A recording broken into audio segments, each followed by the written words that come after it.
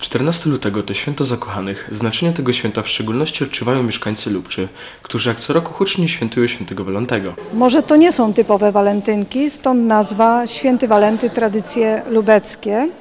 Wykorzystaliśmy tu właśnie miejscowe tradycje, które są w Lubczy, czyli kult y, świętego Walentego, dzisiaj właśnie odpust, czyli te uroczystości, które tu zawsze od lat się odbywają.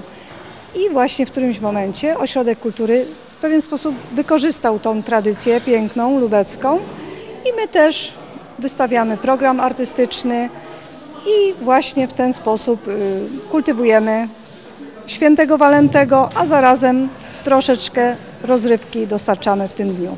W programie uroczystości nie zabrakło licznych atrakcji, pokazy taneczne, występy grup artystycznych oraz poczęstunek. Oceanu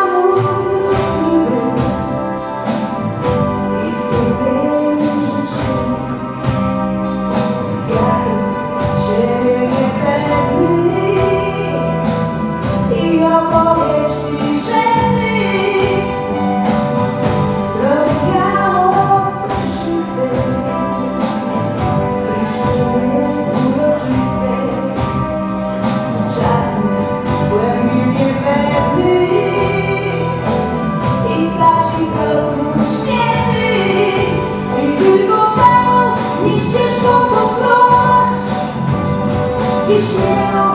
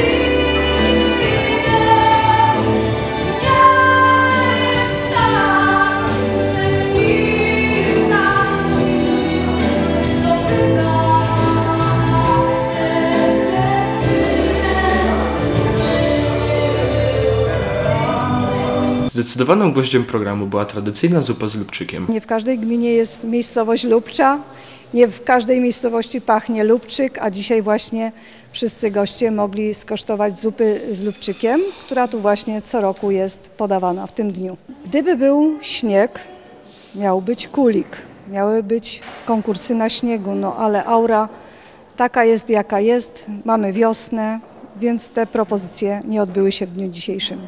Organizatorzy imprezy nie zapomnieli o innych szczegółach. Na wszystkich chętnych czekała zabawa taneczna do białego rana.